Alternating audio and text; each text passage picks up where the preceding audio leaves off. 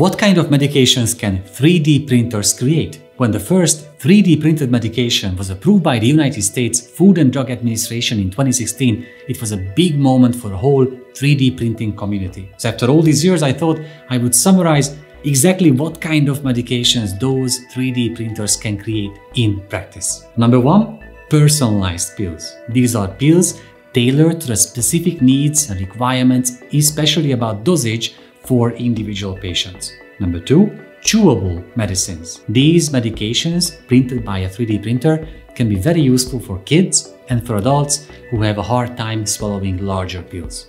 Number three, controlled release tablets. Because 3D printers can create complex structures within a pill, it can allow for controlling how the medication will be released and digested over time. Number four, polypills, when one pill can include multiple types of medication in one package. Number five, orphan drugs. For example, drugs 3D printed for patients with maple syrup urine disease. Number six, clinical trial management.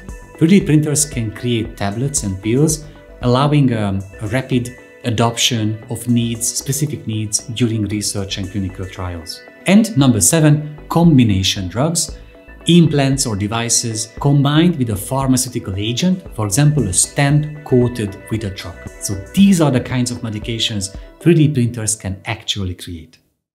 If you like this video, please subscribe below to get notified about every single new video we come up with. And also please go to medicalfuturist.thinkific.com where you will find our two courses, the Digital Health course and our newest one, Introduction to Artificial Intelligence in Medicine and Healthcare. See you there.